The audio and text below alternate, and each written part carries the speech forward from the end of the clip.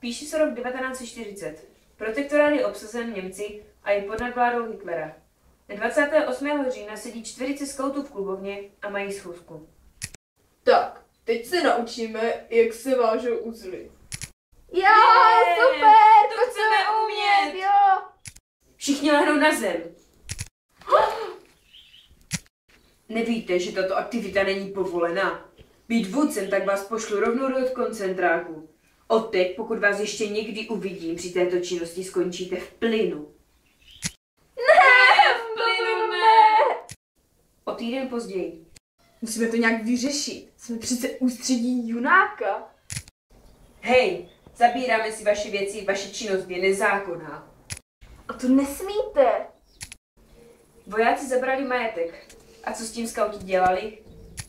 Všem skautům rozešlu dopisy a budeme se tajně scházet a vydávat zakázané časopisy. Později na klubovně. Tak já doma napíšu nějaké ty letáky. Tak já udělám obálku časopisu Pravda. Jo, to bude super. Nyní se přeneseme do roku 1945. Je po pražském květnovém povstání. Skautská činnost byla obnovena. Je! Můžeme se opět legálně scházet.